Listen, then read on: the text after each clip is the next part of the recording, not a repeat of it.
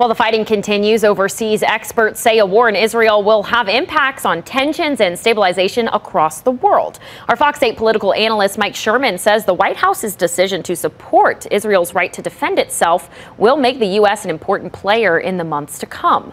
Also, trade with Israel could be disrupted, which could impact American consumers. And Sherman says anyone who cares deeply about world peace should be paying close attention. Uh, the intra-party disputes in Israel's government are gone. So for Louisianans, much of your technology comes from Israel.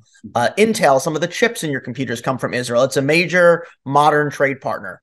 To put this in perspective, as Americans, we need to think back to September 11th. This was an attack of the scale and enormity for Israel as the September 11th attacks were in America. And think about how that changed everything. That's what Israel is going through in this first 24 hours. Everything is different. Sherman says as the fighting continues in Israel, it could also spark tensions in other countries between Muslims and those of the Jewish faith.